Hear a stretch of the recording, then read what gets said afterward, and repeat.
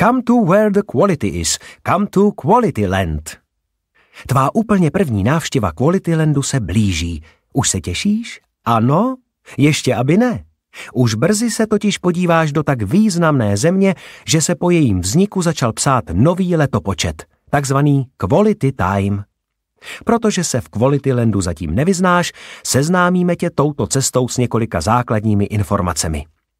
Dva roky před vznikem Quality Landu, tedy dva roky předtím, než se začal počítat Quality Time, zuřila ve světě ekonomická krize takového rozsahu, že ji mnozí označovali za krizi století.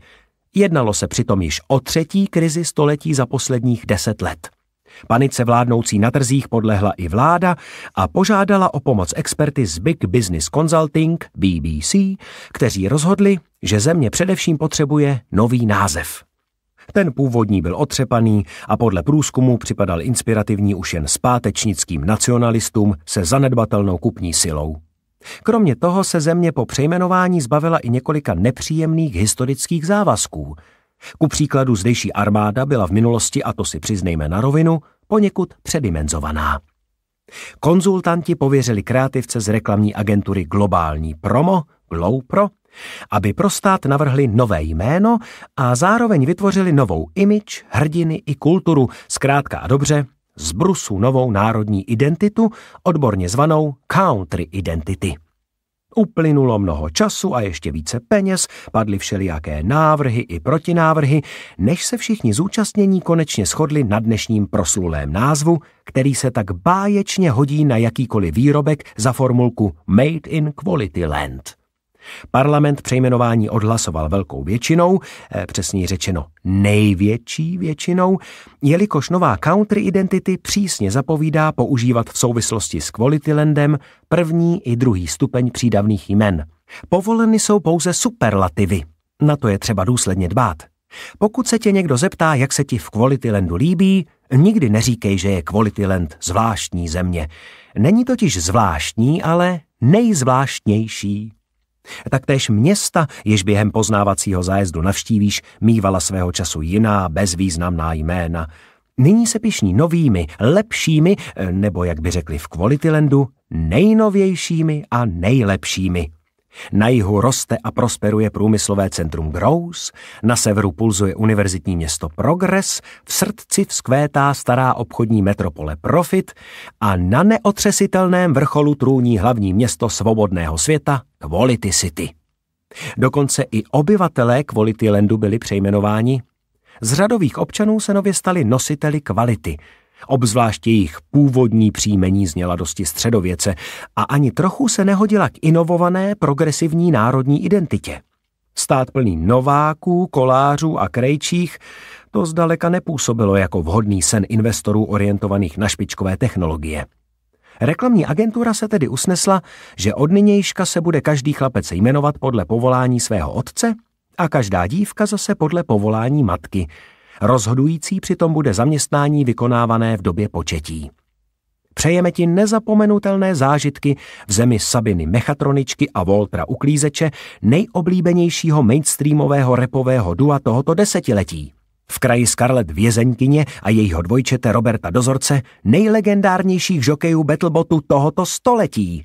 Ve státě Claudie Superstar, která se pišní titulem Sexiest Woman of All Time – na území Henrika Inženýra, nejbohatšího člověka na světě.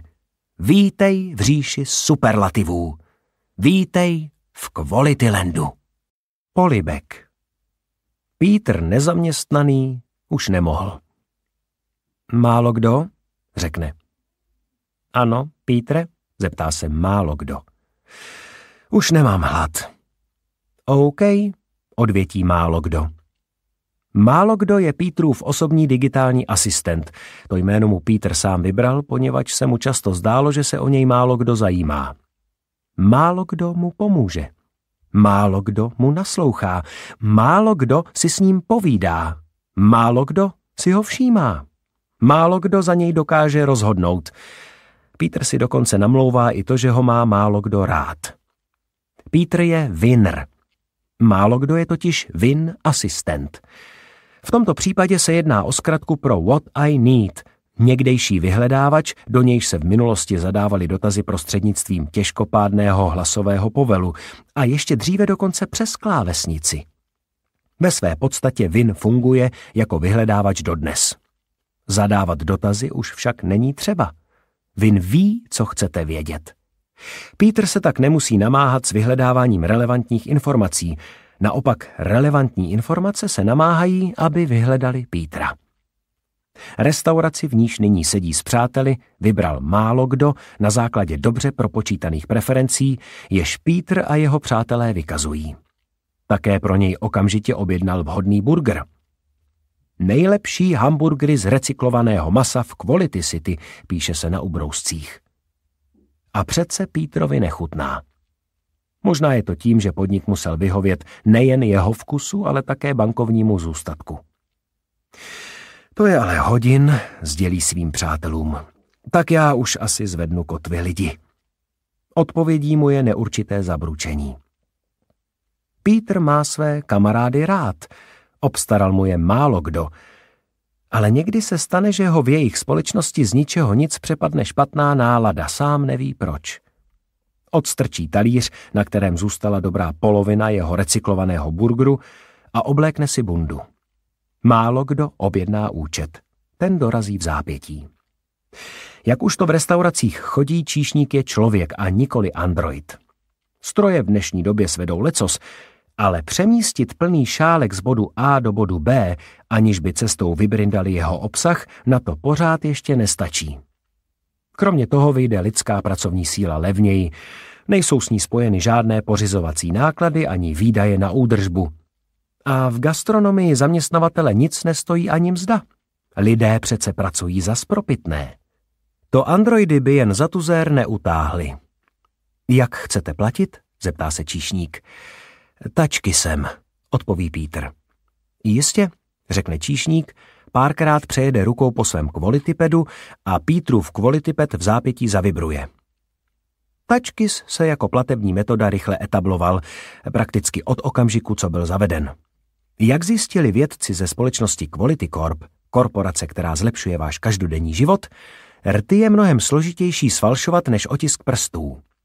Zaznívaly nicméně i kritické hlasy, které tvrdili, že ve skutečnosti jde Quality Corpu o něco jiného. Údajně se snaží vytvořit ještě silnější citovou vazbu zákazníků na jejich produkty. Pokud si skutečně vytkli právě tento cíl, při nejmenším na Pítra jejich strategie nefunguje. Rty na svůj kvalitipet přitiskne jen vlažně. Druhým polipkem doplní obvyklých 32% z propitného. Po osmi vteřinách nečinnosti se kvalitipet přepne do pohotovostního režimu a displej zčerná. Na Pítra tupě civí jeho temný zrcadlový odraz. Tuctová, bledá tvář. Nikoli ošklivá, ale zkrátka nezajímavá. Natolik fádní, až i jemu samotnému někdy připadá vysloveně zaměnitelná – v takových chvílích, jako je tato, má pocit, že na něj z obrazovky zírá kdosi cizí.